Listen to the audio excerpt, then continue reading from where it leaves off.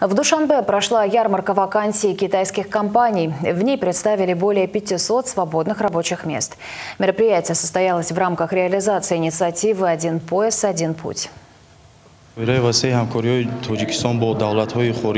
С каждым годом сотрудничество между нашей страной и Китайской Народной Республикой укрепляется. Сегодня у нас в стране функционируют десятки китайских компаний, а некоторые из них являются совместными, которые работают в различных сферах экономики. В них трудоустроены тысячи наших граждан. Надеемся, такая тенденция продолжится.